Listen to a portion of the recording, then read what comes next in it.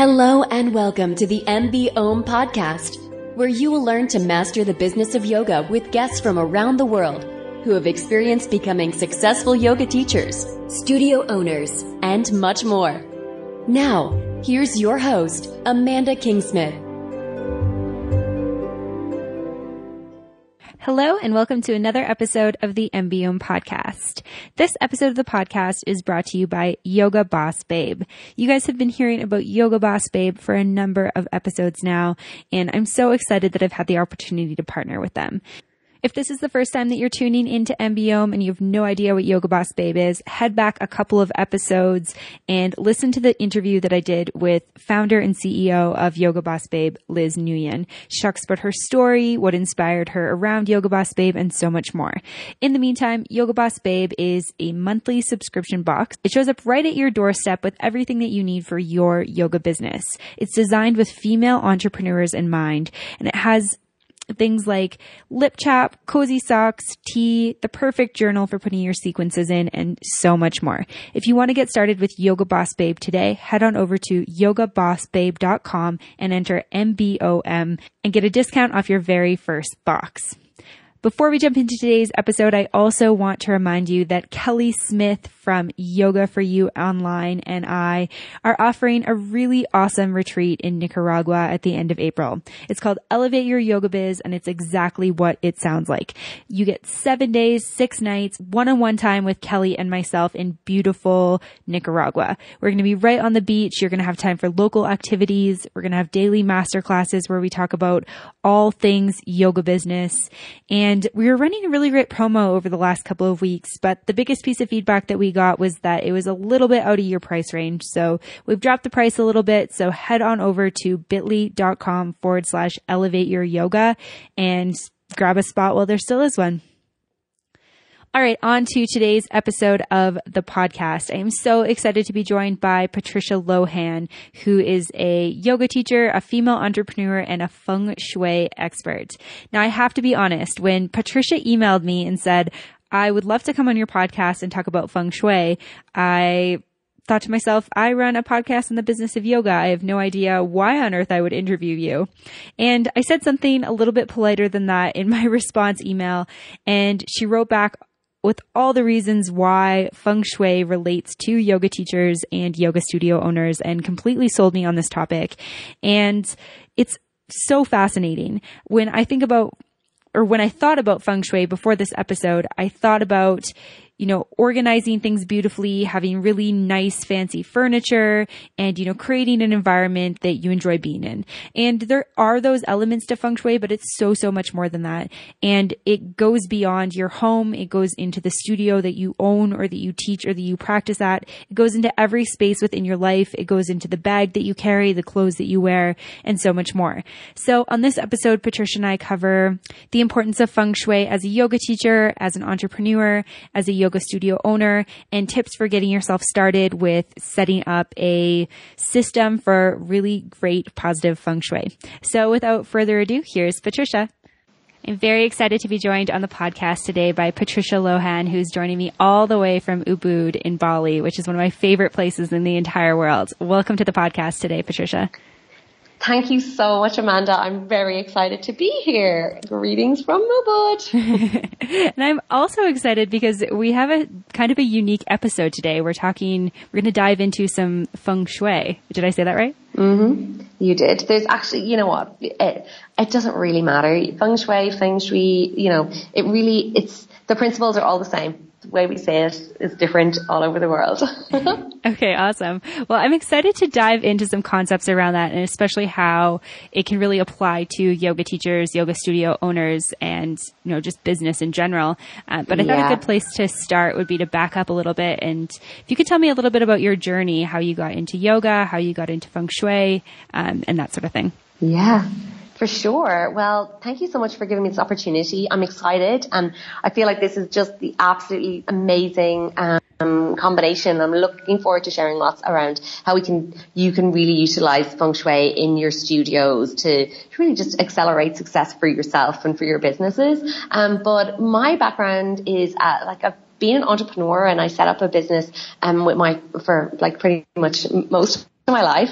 Um, I set up my business, a business in um, my early twenties with my dad in back in Ireland, um, and it definitely wasn't my soul's purpose. Basically, I was running a bar and restaurant. I was 24, I 30 staff. It was a very very hectic business, um, and I kind of like burnt the the the candle at both ends. Party hard, really kind of went for it, and um, but things started to happen and people started to show up into our business that um, really was quite interesting. So one day I had this lady who was like a meditation teacher came in and I kind of ended up going to her meditation classes. Another guy came in and he was a yoga teacher and I'm like, hey, when are your yoga classes?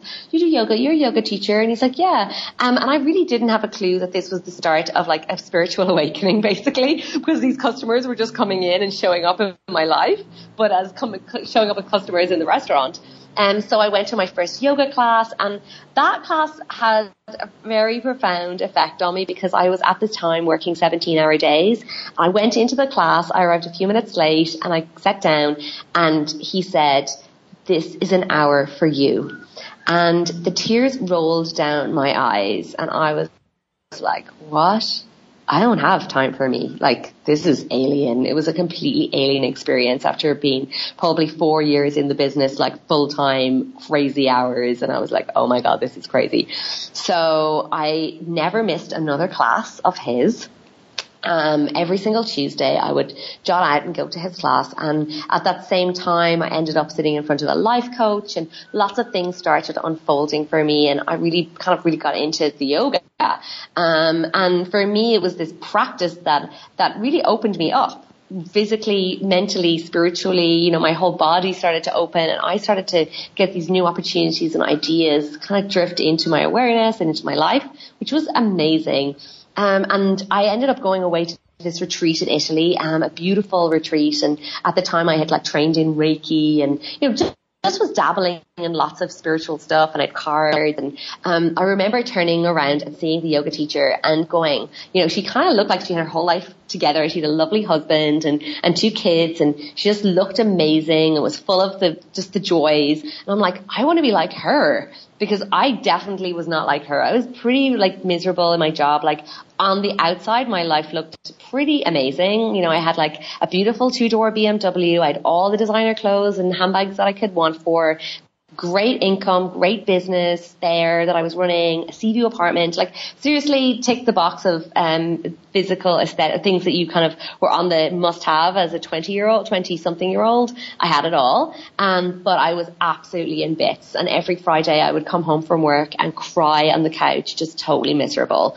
Um, and thankfully yoga, meditation, all these things started to come into my life. Um, and on that retreat, I don't know, I seeded something really big um, that I didn't really realize. Um, the power of be careful what you wish for. Um, and a few, uh, maybe about a six months later, my mum came to the restaurant and she'd been away visiting my sister who lives in Australia.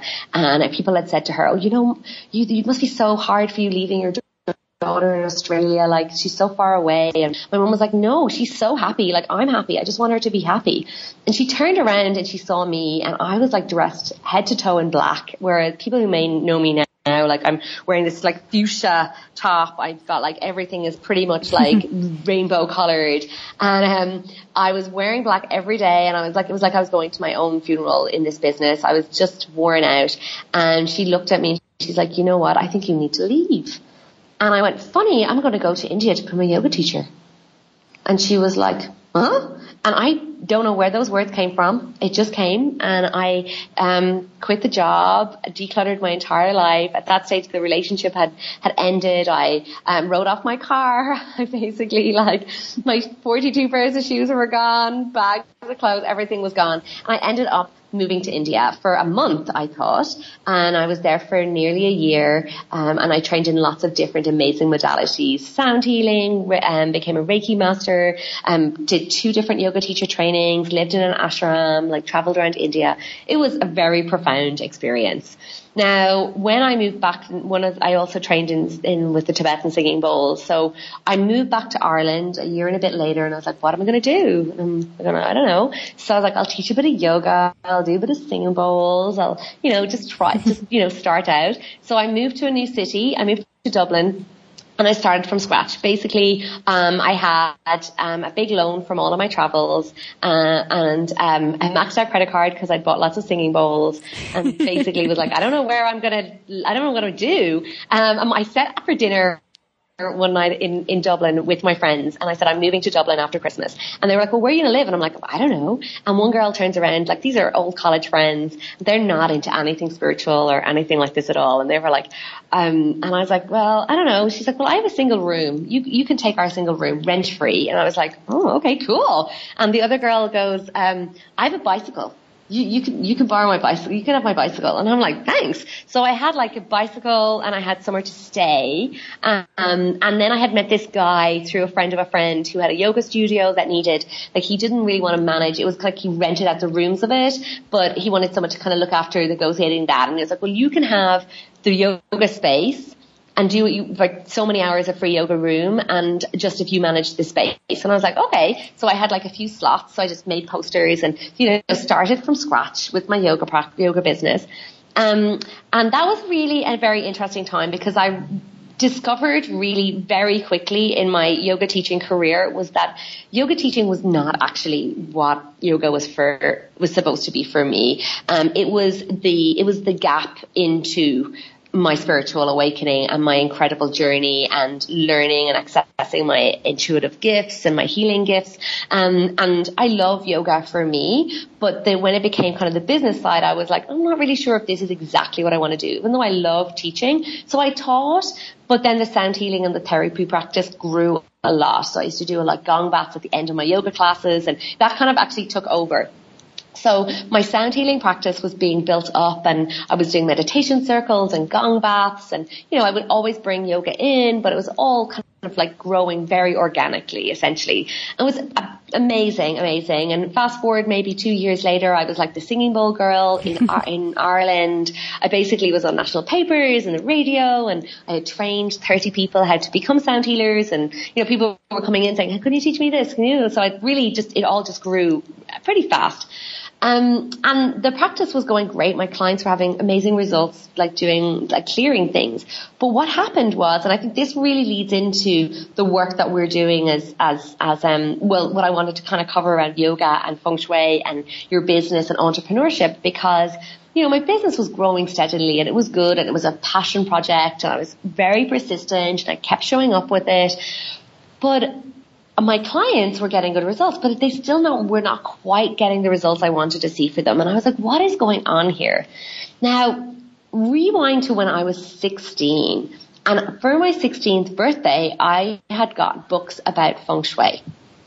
Um, and I always had this interest in it. Like, so I was always interested. We moved house a lot of times when I was growing up up. And was kind of like I remember sitting out and drawing out the plan and looking at the different areas and trying to figure it out at home and being like, oh, this is too complicated and closing the book. But at that time, my main focus as growing my business, apart from growing my business, was like attracting my soulmate. So I went, hey, there's this feng shui stuff I can do for love. So I got, once I had my, um, afforded, my business was big enough for me to leave my little single room at my friend's place. I got a new place and I feng shuied it for love. And I'm like, I'm calling in this guy. That's it. So what I got is, my bedroom all set up. I need to ask, like, what does that mm-hmm. mean? Like, how did you actually set it up for that? So there's a lot to do with like creating the space. So obviously, like I was living in a single bed that was like pushed against the wall. So like having a bed pushed against the wall is pushing away love. You know, there's no space in a single bed for someone to invite someone into your life. So like a double bed, two bedside lockers, special lamps, balance and harmony in your bedroom, like using the energies of yin and yang so the colors were not too bright, um, making sure that I had like spare hangers for a guy. I energized my love and marriage area. So every part of your home represents a different part of your life. So there's like your health and well-being area, your love and marriage area, area, your wealth and prosperity area, your career area. Um, and that's, so I really just focused on the love and marriage. Basically, that was kind of my main thing. Um, and a few months later, I met Ken, my husband, and I was like, oh my God, this worked for Ken, to meet this Ken.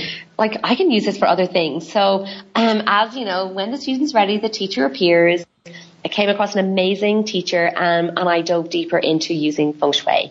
And really that was when the penny dropped for me because I'm sure as people are listening here as yoga teachers and yoga business owners, you're, you understand like law of attraction, like like attracts like. We're like magnets. So whatever your environment is, like when you got your home or your studio, whatever your beliefs were around like money or worthiness or well-being or, you know, potential, that really is what the energy you're calling in with that, that environment. Um, and then what happens is we do all this inner work. So I'm like a huge advocate for inner work and self-development and personal growth. Like I'm still, I always am working with somebody doing something, you know, clearing some, whatever needs to be cleared. But what I found with myself and my clients was that they were doing that inner work, but they were going home to a house that had their old belief systems, that was the energy of their past, that had things that were in it that was the, the past. So that's kind of where the kind of, it all unfolded for me. I was like, hang on a minute. Your house has a personality.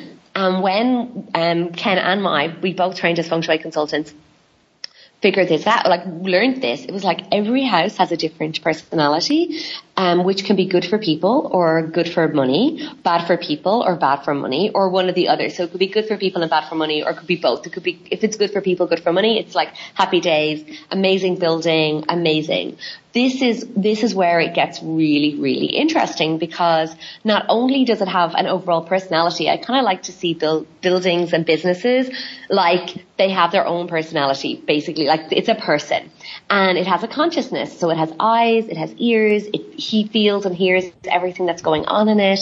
Um, but also it has a specific energy running through it. So just like our bodies have specific energy you know like we acupuncture the different lines of chi are running through your body, it's the exact same thing with your with your yoga studio or with your home. That energy is running around. It can be positive or negative. So it can be really in your favor and allowing really cool things to flow in, or it could be a block. So there could be something really standing in the way of like um, attracting more fame and reputation. So you're like, oh my god, like everyone says I have the best yoga classes when they come, but nobody knows about me, or I'm not being seen, um, or I'm not getting my blogs being featured, or um, I'm not getting paid, or there's blocks around money. These different blocks are what's going on, like can be happening in the energy of the building. That's so, so interesting. Um, I know. And like, this is why when, when we were connecting, I was like, honestly, like, because my passion is working with entrepreneurs and like, you know, yoga is like a huge part of my own life. And I'm like, seriously, people don't realize that like, it's not you. It's not the amount of marketing you're doing. It's not the quality of your teaching. It's not like, it's not like you're, you know, it could be a money block, but it's like if you building that you are teaching in or if your home is bad for money, it's going to limit the energy like of you being able to attract money into your life. Yeah. So that is really a huge fundamental that we don't realize. And when that happened for, when, um, when that kind of came and dawned on me, I was like, oh my God, more people need to know about this. Um, and that's what happened. Um, we decided to, you know, I was running my feng shui business because my clients were, you know, I would be asking them like, tell me about your bedroom. Tell me about like what's going on with your house. And then they would be like, hey, you're always talking about my bedroom. Like, come and feng shui my house. And I would do their house and be like, this is why the work that you have been doing isn't progressing far enough. Like it's, you're not getting over the kind of like massive hump or the, the there's something blocked. So that's what unfolded and really it kind of turned my practice on its ear and Ken and I got married, we decided we wanted to travel and move, you know, become more lifestyle entrepreneurs. Um, so that's how I ended up kind of going, actually for me, it's the fun, if we get the, if we get the foundations in right, like we get the actual environment right, like that it's fertile for your, it's like manifesting like on, on like, I don't know, on turbocharge because once you've the environment right, the seeds you plant, your attention, the intentions you seed will be, will be easier to grow and nurture and like happen because it's all in alignment. Um, so that's when we moved to Bali, um, a two years, nearly two years in, in, in January we'll be here. Um, um, and I kind of went, okay, I think if people want to work, to work with me 101, we need to do their house first. We need to have your feng shui right. We need to have the energy aligned to support you. And then all the other inner work is where it will just literally lift the roof off, like with success. Yeah, wow, that's so interesting to hear about. And yeah, for context for listeners, um, when I first got your email, Patricia, I was like, "You sound really interesting, but like, I run a podcast on the business of yoga. Like, I don't really know what we're going to talk about." And you totally sold yeah. me on it, and it sounds even now as we're talking about it, I'm really grateful that we are able to connect so that listeners can learn about this because I think that yeah. I think that there's this concept where people can you know walk into a space and you do feel something like it makes you either feel like comfortable yeah. or not comfortable. And there's definitely places where you're like, oh, I'm more productive here. I'm not so productive here. And I think that people never really like look into the why behind that. And it sounds like a lot of that might yeah. be around the feng shui of it. Oh my God, totally. And you know, like I know as as yoga practitioners, like I know one of the fundamentals will be like clearing your space. You know, making sure the space is clear, using you know sage or Palo Santo or bells or something just to clear the space of of the energy, which is like you know something that probably will needs to be done between every every class. You know, because there's so many people really doing such emotional clearing during their own practice. You know, I just like literally um, last year totally decluttered a yoga mat. I was like, I'm ready to let go of everything that's been poured onto that mat. Thank you very much. Goodbye. You know, and that's really one of the, the one of the elements of feng shui is really keeping the, the space clear. But on a deeper energetic level, there's more to it. There's definitely more to it. So um, I'm happy to like I'm just thinking what would be useful for your listeners would be really around some of the kind of fundamental things that they can do because feng shui works on three different levels. So the first level is really around keeping the space clear, um, clear of clutter. And I know as yoga student studios will be kept like obviously you've got your your necessities, your mats, your bolsters, all of that. But you know all of anything in excess or other people's stuff that's kind of like really do keeping on top of like no clutter, um, keeping your space nice and clean. That's one level. And then energetically clean with space clearing regularly, bells. I love doing layers of clearing as well, um, especially because my background is with the sound healing, but working with the, with um, some some uh, incense or sage or Palo Santo, then going into the space with sound. So whether it's a bell or a chime or a bowl to clear and then maybe spritzing something like rose water. You know, so you're really kind of getting into all the different levels of vibrational stuff that could be stuck, especially into the corners. Um, that's a big one. Um, and then the next level after the, the decluttering, um, and keeping the space clear would be the intentional. So there, every area, like I was saying, there's different parts of your, your space that will represent different parts of your um, business and life. So my favorite part is working with clients who like obviously are entrepreneurs um, because I'm just totally an entrepreneur for so long. Um, but uh, the, the the fact that you know when you do something positive in your own space, like your your your love and marriage area, for example, that actually also mirrors back into your um, relationships, your business partnerships and relationships. So when you do something in your own personal environment, it'll mirror back into your business environment as well. Like it mirrors back into your business too. So it works really nicely in harmony. Um, but from a very practical standpoint, when you get to the studio, like there's some really simple things that can make a huge difference. Like get when you arrive to your studio, like make sure the front door is clean. Um, you know, this is where, so like I, um, maybe I mentioned, like your, your house or your building or your studio has eyes, ears, it feels things, it's like a person. So the eyes are the windows. So keeping the windows clean so you can really see out into the world. Like, so there's, you've got a clear clarity and vision of what you're doing. Um, the mouth is the front door. So this is where the chi enters. This is where all of your clients come in, where the money comes in, where the positive things, it all flows in there. So keeping the front door nice and clean, really inviting, a nice welcome mat, an open sign. Like uh, this may sound like kind of like, oh, like an open sign, but you know, you need to be really clear with telling the universe, like open, we're open for business, like come on in. So open sign, making sure that your sign is visible, that like your studio, that the sign is very visible, that you can see it, that people from the road passing by, that's the yoga studio. You know, it's, it's very blatant. And this kind of is a marketing thing, but it's also very um, powerful feng shui because we want to call that energy in. So when you get to your front door, you've got a nice welcome sign, maybe some flowers, um, and then make sure the door is easy to open you know, that there's, you know, I've been to so many different studios, like over the world, all over the world. And I really, like, sometimes I'm kind of like bemused. I, I can't get in. You know, there's like bells and buzzers. There's no clear indicators of like, how do I get in? Like the door is it's hard to get in. So making sure that it's easy to get in or clear instructions. Also that the door opens easily because where there is a struggle, like this is also kind of struggle in like, uh, uh, if you have to push to get in, that's also the chi, the energy, the money has to push. It has to, it, there has to be a struggle before you can get in until you allow it. So, you know, just releasing that nice and easily.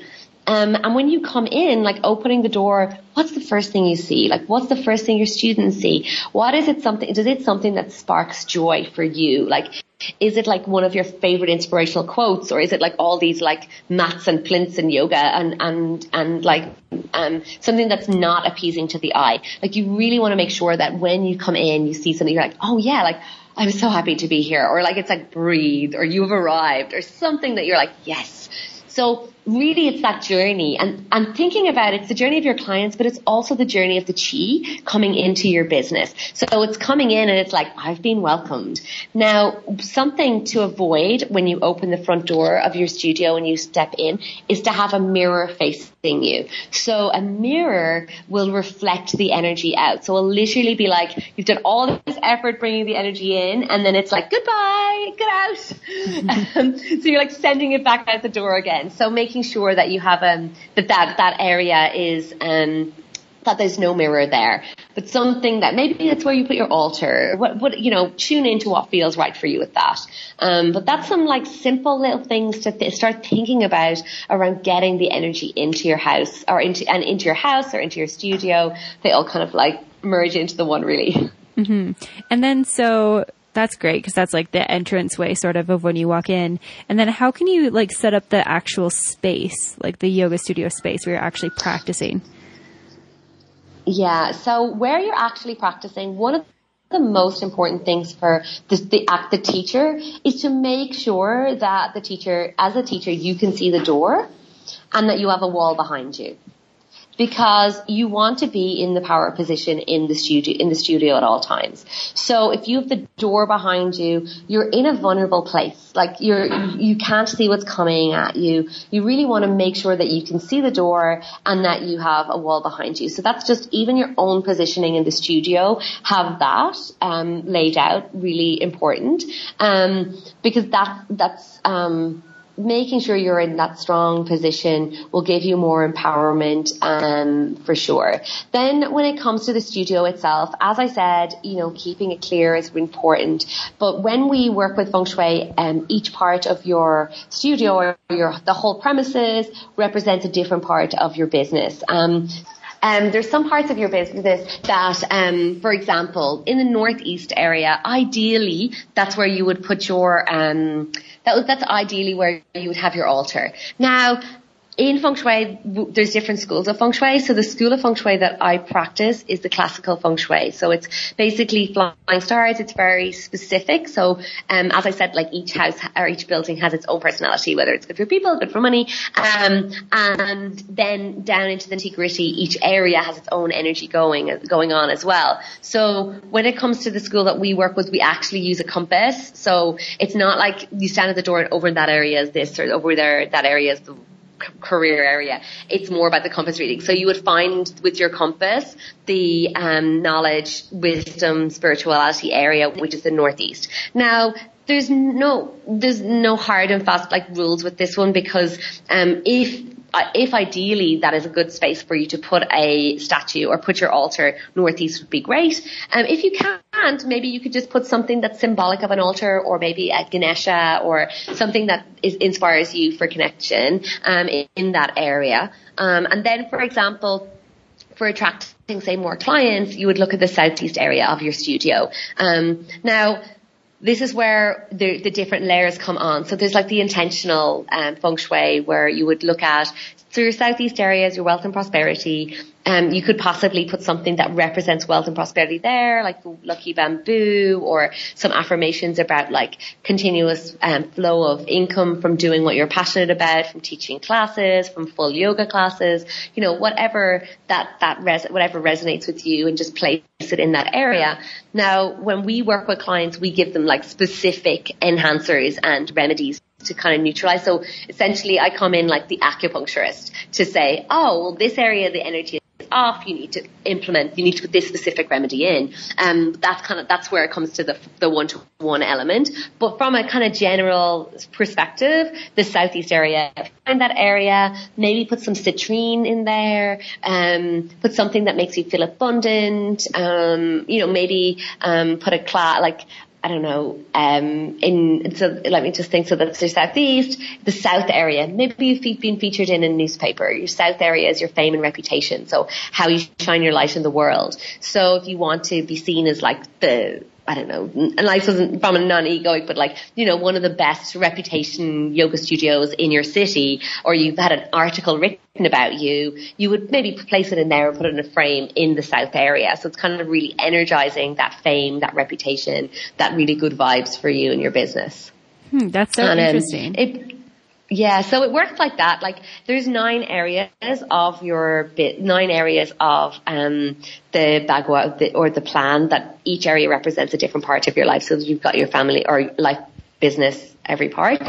So you've got like your career area, your family and community area, your spiritual area, um, helpful people and travel, your love and marriage, your relationships, your health area, obviously health and well-being, um, your creativity. So yeah, that's um kind of like how how uh, how it works. So um, I'd love to know if you have any other questions. Yeah, definitely. So that's really interesting to get like a broad overview of that. Cause so, you know, just from my background, I don't have any background in feng shui and I always kind of thought about it like, you know, when you're sitting at a restaurant with friends, there's kind of like, they always stick stuff in the middle of the table and there's, you know, it's nice to like move that out of the way because I feel like it kind of blocks that connection that you can have somebody with somebody like diagonally or forward facing. And then I knew there was these concepts like within your home where there's like a way to set it up so it's more like warm when somebody enters or it's more like cozy, whatever you're going for. And I love the, the concept of like the love in the marriage area. Um, it makes so much sense. Like if you have the wall against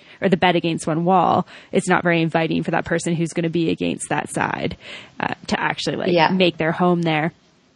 So my next question is, you know, a lot of people who are listening are going to be um, there's going to be yoga studio owners. So I think you've touched really nicely on how they can kind of improve their their feng shui um, in their business. But then for yoga teachers, I feel like the life of a yoga teacher, and you would know this as well, is a lot about you know going between different studios, and then you come home and you probably have your space for your home practice and your place where you do your admin and that sort of thing how can you as a yoga teacher go into somebody else's studio space and kind of you know, create that energy within the studio um, when it's not like your space where you can actually set things up?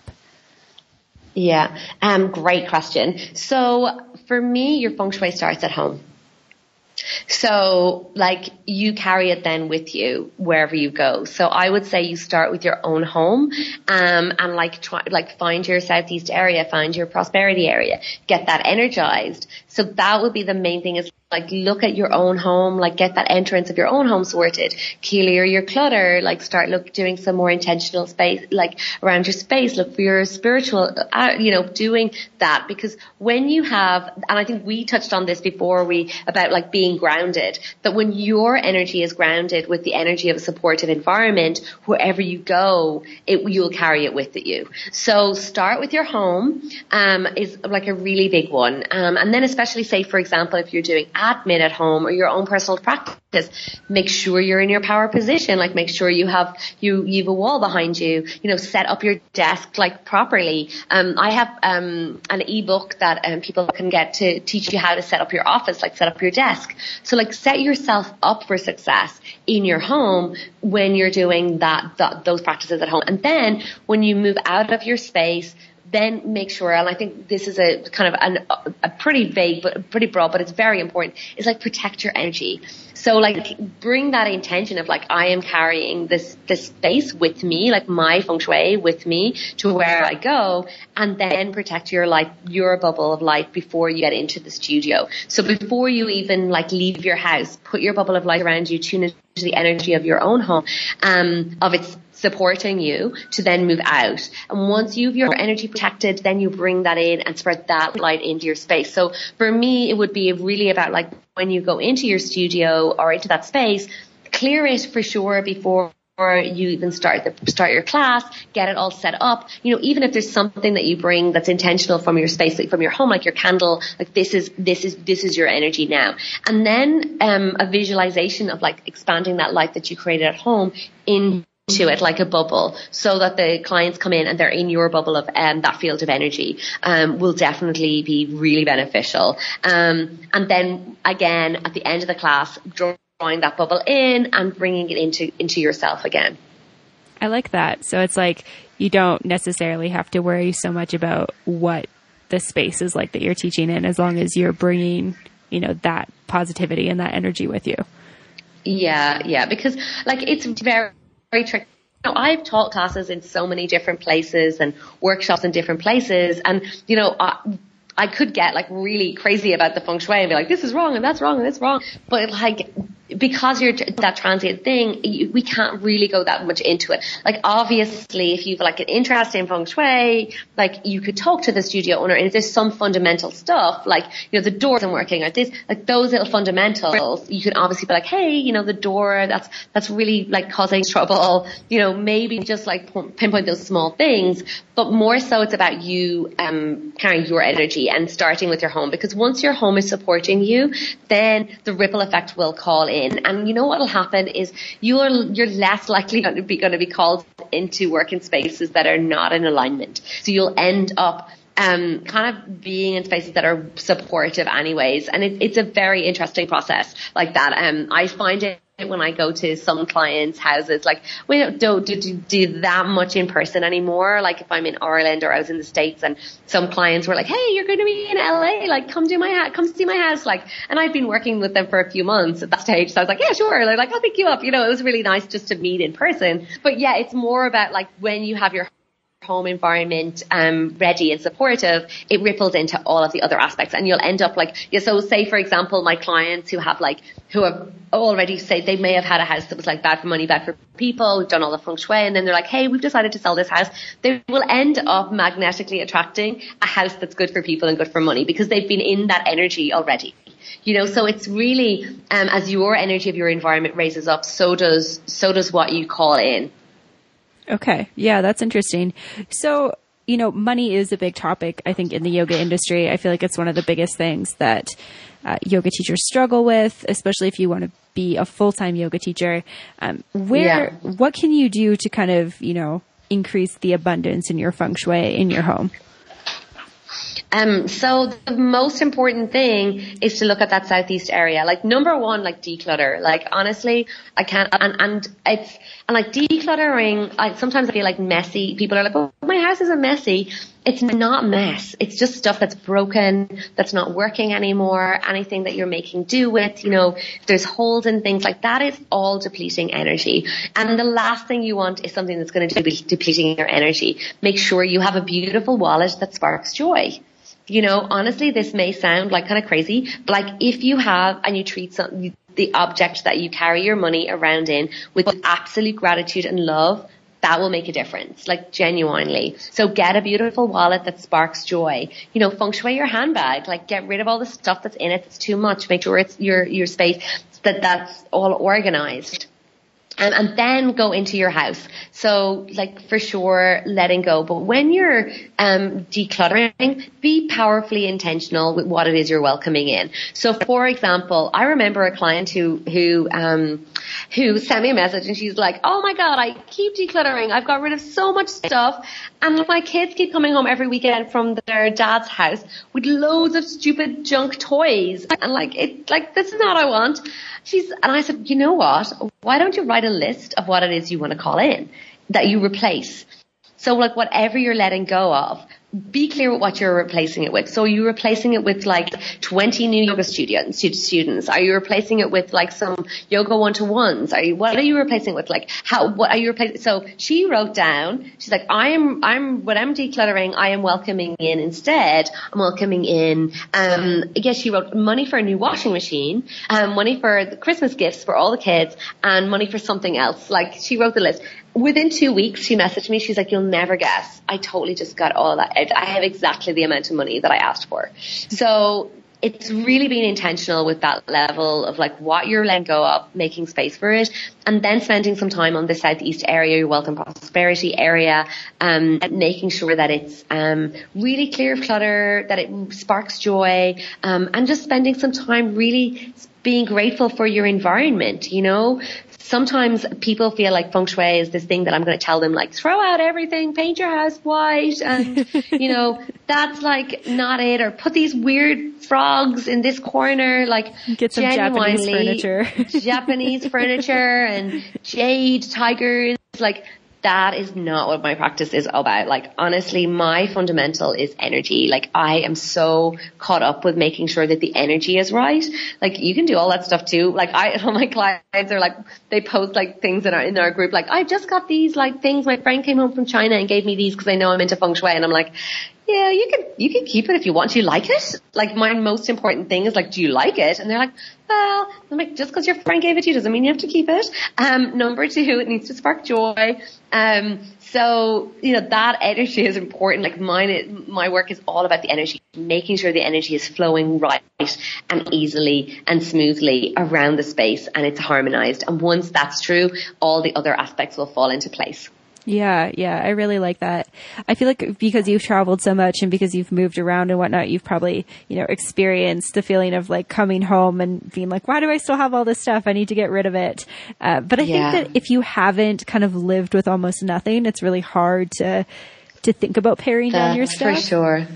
Yeah. Yeah. Do you have yeah. any tips for anyone out there? Because I think there's more people who, you know, have kind of like lived in the same space for a while than who, you know, travel quite regularly. Do you have any tips for those people on how to start paring down their stuff? For sure. Yeah. Um, so one, there's a, I have a few things. One of them I find really useful is to have a friend come and who is just like, you just tell them, I want to get rid of like start with say your wardrobe, like start in one place or start with one cupboard. That's actually what I would start with. You start with one thing. Like don't think I'm going to declutter the whole house because then it gets crazy and you don't do anything. So you start with like one cupboard or one underwear drawer or like start with one thing and be like, oh my god, that feels great. Wow, I've got rid of all these knickers that have like holes in them, you know, and I'm going to keep the ones that are nice and have the ones that spark joy and go to the next thing.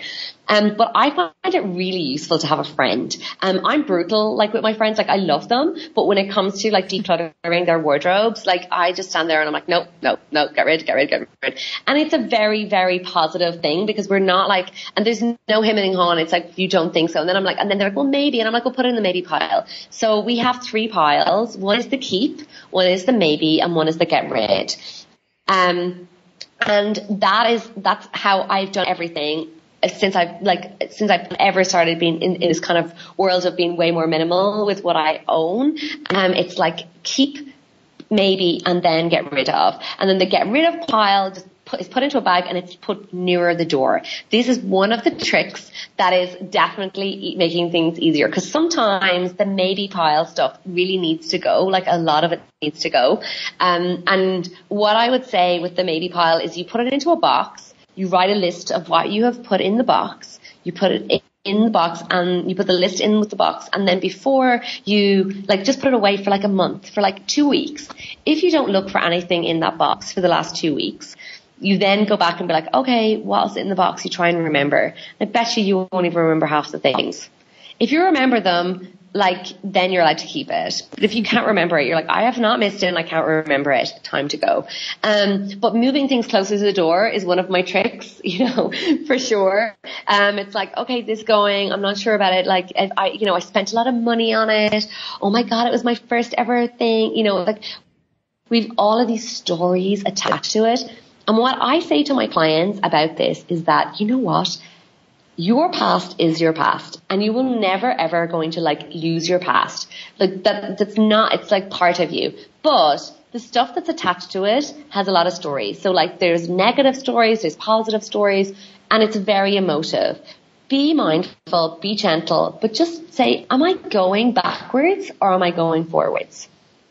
Like, where am I going? Does this spark joy? Like, if it's stuff that doesn't fit you anymore, like, just let it go. You are going to be able to welcome in brand new cool stuff that fits you gorgeously um, when you let it go. Because if there's not space, there's no way to welcome in new things. So this is a really, it's a very powerful practice and I totally don't like underestimate the power of it. I've had several different situations with things in my own life that I found really hard to let go of, but I know that they were part of like dresses that were connected to that life when I was like out drinking like all the time and like all the flash stuff and I'm like, that is not who I want to even be associated with anymore. Like that's a part of me that I don't want to actually have anymore. And why would I keep those clothes?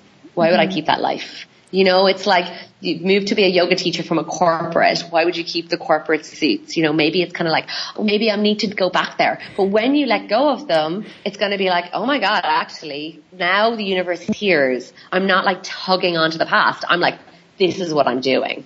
Yeah, I love that. It's kind of funny that you brought up that specific example because I don't, I don't own very much stuff out of what I have with me, which is like a 75 liter backpack or something like that. But yeah. I have like one closet at my parents' house that still has stuff. And there's been a few things that were really expensive from my corporate world as well that I haven't let go of because they still fit me. So it's really funny that you brought yeah. that example. I'm like, what if I have to get a corporate job again and I'm like so broke that I can't afford clothes? yeah. And you're like, oh my God. And then that also then goes into your mindset because you're like, oh my God, like we as yoga teachers are supposed to be embodying like abundance and all of the positive things in life and, and you know, that sense of trust and flow. Um, and that us holding on to stuff is like we're not actually walking our talk.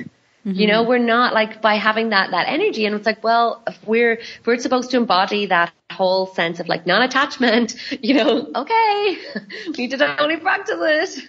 Yeah, yeah, definitely. I remember like when I first moved into a house when I was in university with uh with girlfriends, we were like just absolutely disastrous for the first couple months that we lived there. And we found like collectively that it was really hard for us to get work done there. Like it was really hard to study. Yeah. So we implemented like a Sunday clean day where we would tidy everything up and just make sure that like the space was really organized so that we'd be set up for the week. And that's something that I've continued in my life up until now. Like I just feel like there's something about, you know, if your house is cluttered and your house is messy and there's stuff everywhere, it's yeah. really hard to have a clear mental space to actually like get work done. Yeah. In. And I feel like the thing, the big part of that is that like everything is a mirror. So we know, we totally know this philosophy of like the person comes up, it's a mirror for you. Your house is a mirror for you. Mm-hmm. You know, your house is a total mirror for you. And like interestingly, even with our own house currently where we're here in Ubud, um, Ken and I have been really work, like there's been just a lot going on with business and with work and everything. And I've been ha- finding it hard to switch off. And one of the things I realized was like, oh my God, we don't have any place to kind of properly relax like to really just like switch off. Like we've had to just kind of leave to be able to relax. Um, because it's like just the way the house is shaped and that. So we just literally are getting a new couch. Um, I was like, you know, we're making a commitment to Bali. We're just buying furniture. so we're like getting a couch, putting hammocks in, like just being like, okay, what do we want our, our life to represent? We want it to less look like, like a lot of work and less like relaxation and balance. So it's like, well, our house is a vision board for what we want in our lives. So we're going to have the things that are going to bring us that as well. So, um, I, I just, I, you know, because we we all have blind spots. You know, that was just something that I didn't even notice until a couple of months ago. And I was like, hang on a minute, like we've just been so busy, which is amazing, and it, I love it. But I was kind of like, what is going on? Like there seems to be a bit of a disharmony. And I've literally just walked around. I'm like, because there's nowhere for us to relax here. Like that's exactly it. So it was this kind of, oh, okay, there's always going to be blind spots. You're always going to be growing. Like for me, I have um, a client who posted recently. She's like, I feel like yoga is like, or that I feel like feng shui is like yoga. Like it's a constant process. Like you're never going to ever like stop decluttering. Like we're never like the cycles for feng shui, the the the energies are never going to stop like moving. It's always a flow, and you're just always going to grow and evolve with it. Yeah, definitely. Yeah, I can relate to what you were saying about the couch um, with the co-working space that we work at here in Mexico City. My boyfriend and I were talking about how the one that we worked at actually in Ubud in Bali was really great because like it had this really nice like spaces to relax in. So you could like take your breaks Yeah. throughout the day and really like disconnect from your laptop. And the space Yeah. we work in now doesn't really have spaces like that. And so it's a lot harder to like take a break. Like it's almost like you have to physically like leave the space to kind of like decompress Mm-hmm. from what you're working on. Yeah. So it's it's kind of interesting like that. But I remember I used to do homework in my bed. And I remember somebody was like, "Oh, you should always keep your bed as like kind of the sacred space where all you do is sleep. Yeah. Like maybe you sleep and you read, Yeah. and like it's not a place where you like eat your meals. It's not a place where you do your work. It's like very much your place where you sleep and you'll sleep better. And it's something that I've you Yeah. know, really been conscious about implementing over the last couple of years. And I have you know found Oh, a difference. sure. It's like my sanctuary, like where that's where. I Oh my god, yeah.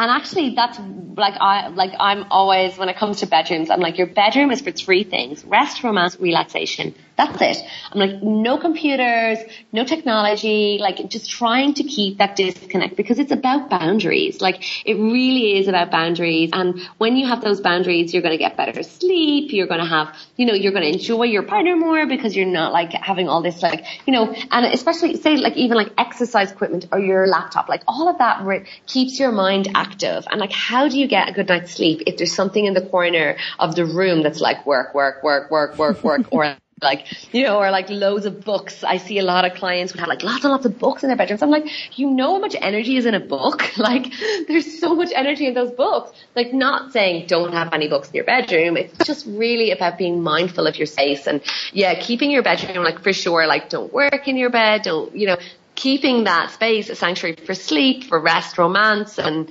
um, and harmonious.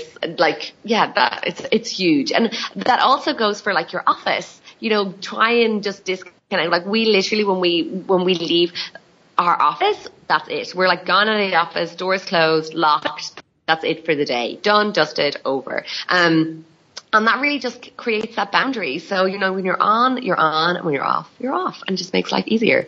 Yeah, I like that. I know that you mentioned that you have, you know, a giveaway that talks about setting up your workspace, but can you go over a couple of Yeah. the tips to ensure that your workspace is in alignment with whatever you're trying to achieve in your business? Yeah. So, um, yeah, the, the, the, the most, I, I actually kind of, I touched on it when we were talking about the yoga studio, but like, you're, make sure you're in a power position. Like this, I cannot like really emphasize this enough. Like door, wall behind you, see the door, be able to be in your power position, keeping your space organized. Like, as I said, boundaries, if you happen to have like, so there's some instances that your office, your desk may have to be in your bedroom. And you know what? If that's the case, like put a put a, a shawl over it. Like put a shawl over it at nighttime, so it's like disconnecting you from your from your from your work. So there's that again, creating a boundary, or like an altar. You know, I, I have worked with like obviously I have a lot of spiritual entrepreneurs as my clients, um, and you know, it's great to have altars and have spiritual statues and your angel cards and your tarot cards and your books and all of that. Like I am amazing. Like I love all them. I have my altar here beside me here. But, um, you know, that's not really appropriate for your bedroom either. Now, if it is in your bedroom and, you know, some people are living in a shared house and they basically their lives are in their bedroom, like, you know, just even covering it at nighttime so that you're creating the space of like, when I'm working, I'm working. When I'm doing my meditation, I'm doing my meditation and setting it up in a space that's like more organized, um, for sure is really, really important. Other things that kind of like may sound kind of basic, but I am, you know, if you are working in like a co-working space or in a, in a, in an office, make sure you have a good chair. You know, make sure you have something that's like not wobbly, you know, because that everything has like symbolism. It's like if you're sitting on something that's unstable or a broken chair, it's like that's broken number one, it's depleting. But it's unstable. You know, it's unstable. So you want to make sure you're, you're a stable place that you're sitting on, that you have a good firm table, that that is also really stable, um, and that the things around you in your environment, like inspire you. You know, they inspire you. Like you, use your space like it's your vision board for your life, like where you're going, not necessarily your past. So like letting go of things that are not connected to you now, like letting go, letting go, letting go of anything that doesn't like represent you where you want to go in your business. Like, so I've been in the past, I used to do like little mini 15 minute like audits for people for their offices.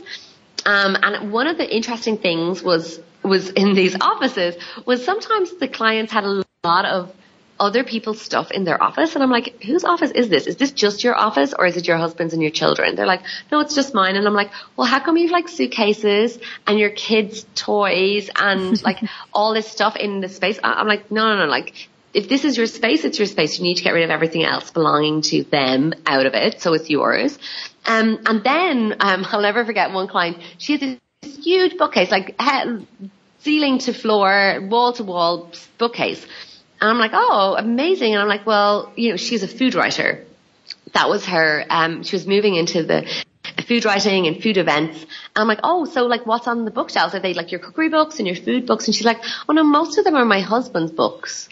Oh, they're all my books to do my law degree. And I'm like, you, when did you do your law degree? It's like, uh, like 20, 20 years ago. And I was like, okay, well, um, I don't think you're going to need those books anymore, you know, and, um, maybe your husband's books, they, like, why are they in your office? And she was like, oh my God, I never thought about this. So, like, oh, like the before and after photos were insane because she was messaging me going, oh my God, look at this, look at this, look at this she got rid of all of the books that were to do with her husband out of her office, moved all of her cookery books up there, and she's like, oh my god, now it sparks joy, they inspire me, they connect with me. So, you know, having the things, you know, around you in your desk, like if you're a yoga teacher, like obviously your yoga product I can never pronounce that name, or like an autobiography of a yogi, or whatever books that you're into, like whatever those books are, you know, have them around you, or you know that they're inspiring they're connected, they're like kind of like, oh, this is what what my vision is, you know. Yeah, yeah, I think that that's awesome.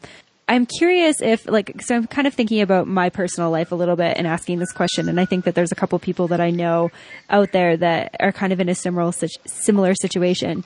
Like, I do most of my work at a co-working space and then I come home and there's not really like a designated space for me to work and for my boyfriend to work. So I think sometimes like, you know, we've got one desk and it's kind of his space and then I kind of just work wherever it's like comfortable. So maybe it's on the couch, maybe it's at the kitchen table. Do you have tips for kind of creating that space, like kind of a portable space for yourself and setting yourself up? Yeah, I would say the, so for example, like if you have to use the kitchen table, you have to use it. Like for me, I'm very practical around feng shui. I'm like, you know what, you use what you've got. And if you, your partner, your boyfriend has the, is using the desk right now, you should use the kitchen table. Like set it up for work and just be like, this is my work time. Like it's very much around the intentionality. But if you're going to go and have your dinner there a few hours, like an hour or two later, make sure you pack it all away. Like make sure that you're kind of like that's, it's again about creating those boundaries. So if you have to work in that place, you're like setting, okay, I'm sitting here, I'm going to do this work, I'm going to set up, like get your little, whatever it is that you need beside you, whether it's like you just have your little like hole with your stationery and you're like, now I'm on work mode.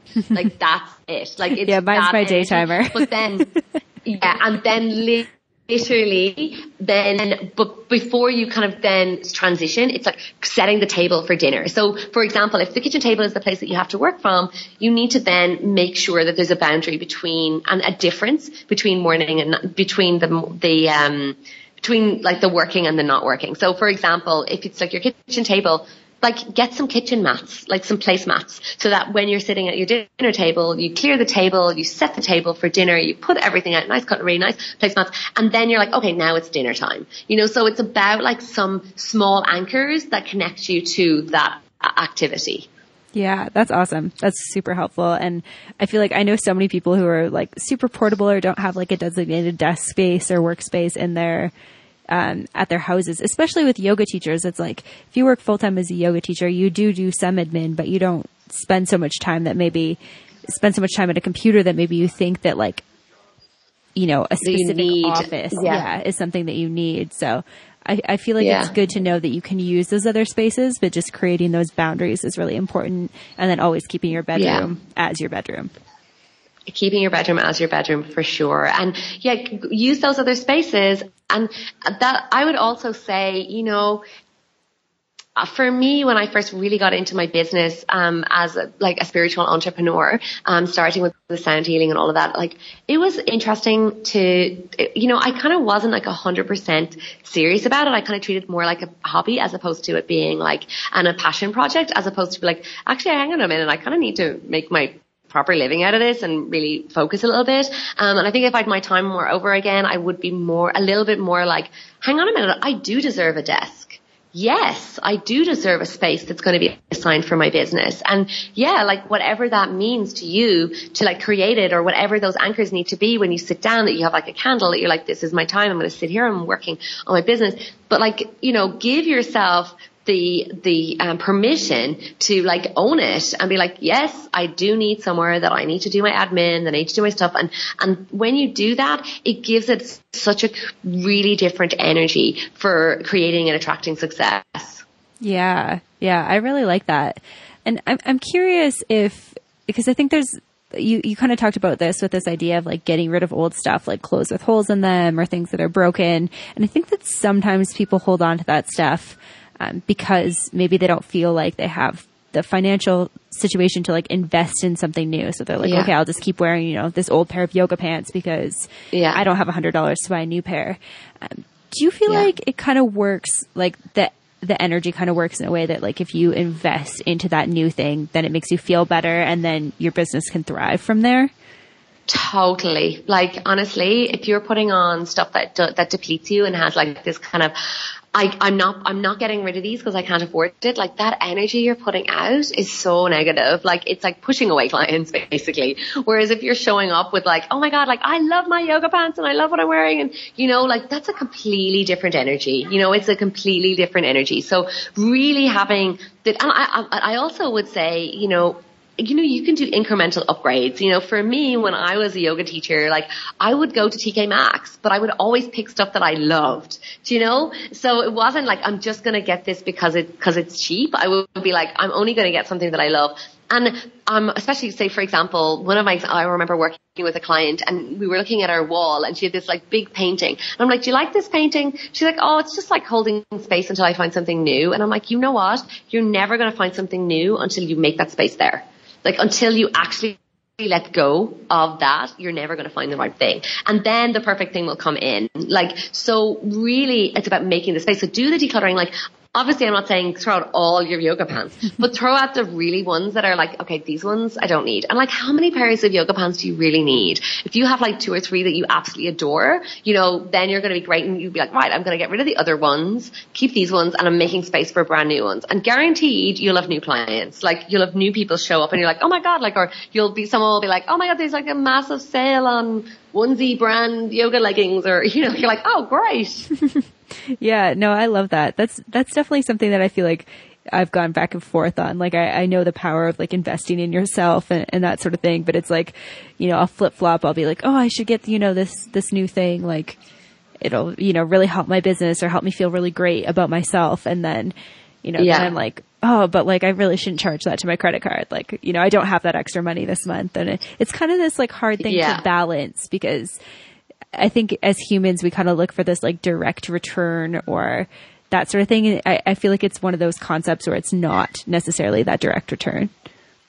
No, it's not. And it'll come around in very different ways. So it's about trusting that process, you know, and, um, yeah, and it's it's also like a practice. It really is a practice, and you know I really have embraced it as a, as a practice to just go through my wardrobe and let go of things and only have things that spark joy. I would rather have less than loads of stuff. I would rather have less yoga leggings and less clothes, but making sure that I love every single piece. That's it. And that's my whole motto. And you know what? I look better and I feel great.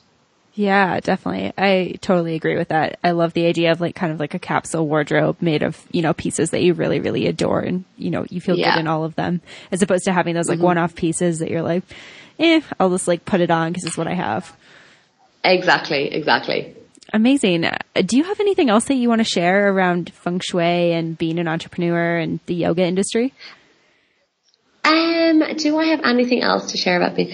No, I feel like, you know, we've talked a lot. So, um, being an entrepreneur for me is just about persistence and being, and like once you're passionate about what you do and you just keep showing up, like you you know you're you're um you will be rewarded. Um and I suppose for me from a feng shui perspective it's quite interesting because um oftentimes when people come to me it's like it's not actually them. They've been doing all the inner work but it's actually their environment. So it's kind of like a this weird little push pull going like what's going on? And then it's like oh look it's because your house is this or you know so that's really for me part of my journey is supporting people on that um making sure that they've got all of they've got everything aligned um, to support them to grow. So, but persistence and passion, like they're my two keywords for just, you know, doing it. If you love what you do and you're passionate and you're just persistent, um, the universe will reward you, but you have to let go of the stuff that doesn't serve you anymore. So like declutter. yeah, I love that. That's amazing. Um, where can people go to find out more about what you do, Patricia? Um, so people come find me at patricialohan.com. Um, and on there I have, um, an ebook that I was saying about creating, um, your office, down, like setting up your office. But there's loads of tips there about like color coding your files and, and getting yourself set up. Lots of different, there's, and some prosperity tips, um, in there. So I would love you to go and access that. You can also follow me on Facebook or Instagram. Um, I am also always like posting little tips. Um, I've got loads of, um, on Facebook I post like little daily little feng shui tips because it's just loads. so there's always a little tip just to kind of like, oh, that's something new. Um, it really just kind of helps people, um, you know, get into that mode of creating an environment that's supportive for them and their business. Yeah, definitely. I can't wait to check out more about what you offer and learn more about feng shui. Um, you've educated me a ton on this today. There's so much more than I ever thought around it. And so I'm really grateful that we had the opportunity to talk. So thank you so much for your time. Yeah. Thank you so much for your time and I really appreciate it. And you know, if anybody has any questions, like feel free to just reach out to me. Um, I am always like my favorite thing to do is to support entrepreneurs. So if there's something you want to know about like my business or feng shui or whatever, just feel free to, to reach out and connect. Amazing. Thank you. So I hope that you enjoyed that episode and you got lots of learnings about it. I know we covered a lot of stuff very quickly. So head on over to patricialohan.com, sign up for her ebook. You can find the show notes that have a breakdown of what we talked about at mbomyoga.com. You can also just reach out to Patricia, as she said, if you have questions. If you're trying to set up your home with these types of concepts and you're just getting confused with the things we talked about, definitely reach out to her. She's so, so knowledgeable as you heard in the podcast. I also wanted to say a quick thank you to everyone who listens to the show. I just popped on iTunes just to, you know, check out reviews and that sort of thing. And I realized that on American iTunes, I crossed the top 200 in careers, which is absolutely amazing. I honestly never even thought I would ever do that. So it's really, really cool to see myself at 181. Then I headed on over to Canadian iTunes and I'm number 33 in careers. So thank you so, so much. It's because of everyone out there who listens to the show that I was able to do that. And if you haven't left a review for the show, it's really helpful. You can just hit review right from your podcasting app or head on over to iTunes and leave a review. It's really, really helpful to get new people listening to the show. As always, you can find me online at Mastering the Business of Yoga. You can join the private Facebook community at Yoga Business Badasses. And you can always send me an email at info at mbomyoga.com if you have a question, comment, or any piece of feedback. As always, thank you so much for listening and namaste.